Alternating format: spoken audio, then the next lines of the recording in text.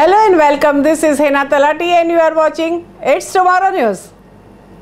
A tornado swept through the western Germany city of Paderborn on Friday, injuring dozens of the people as it blew away the roofs, toppled trees and sent debris flying for miles, authorities said.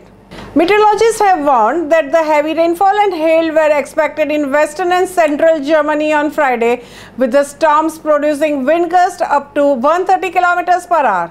Storms on Thursday had already disrupted traffic, uprooted trees that toppled onto the rail tracks and roads and flooded hundreds of the basements in western Germany. Paderborn police said 43 people were injured in the storm that hit the city.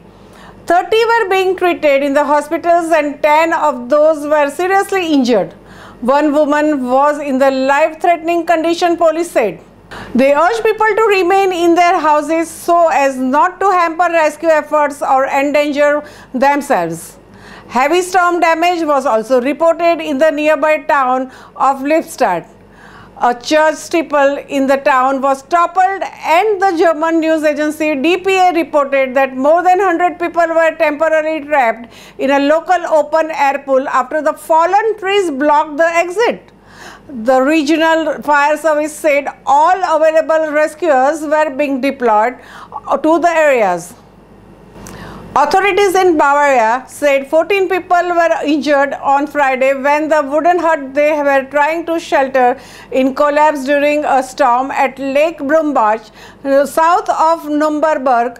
And among the injured were several children and 37-year-old woman who was airlifted to a hospital with serious injuries. The steeple of the St. Clement's Catholic Church in Hellinghausen had been ripped from the church roof and was strewn all over the churchyard. The German Meteorological Services had put out the storm warning for Friday and predicted gales of up to 130 km per hour in some places. In Ballenstedt, in the eastern state of Saxony-Anhalt, Two French citizens died after the strong gust of winds caused their motorized paragliders shortly after the taking off. Large swaths of the Germany were under the severe weather alerts on Friday evening. The storms also caused damage in the neighboring Czech Republic.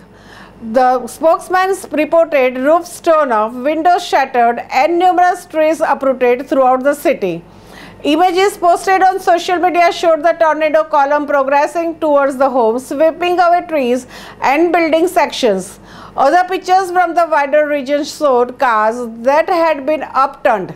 The German Weather Service confirmed three tornadoes in North Rhine-Westphalia, in the Paderborn, in nearby Lippstadt, and on the edge of the town of Höxter, news agency reported. That's all for now. For more news updates, stay tuned with us. It's Tomorrow News. For more global weather updates, like this, subscribe our channel and hit the bell icon for regular updates.